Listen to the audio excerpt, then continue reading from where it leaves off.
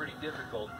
I'd like to say to all the youth out there, um, who immediately stand man, if I could take it all back and go back in time, I, I would have never smoked pot. I would have never drank. This man noticed Like, a hungry wolf and, without thinking twice, exited the car to it, it's taken the best years of my life. Like, I mean, and now my like to retrieve the my leg got shattered because wolves possess a high level of my drinking. Probably, trust and even I, I attribute that to it, and uh, saying goodbye, the driver wants to carry on. Yeah. The wolf follows the car, blocking the way.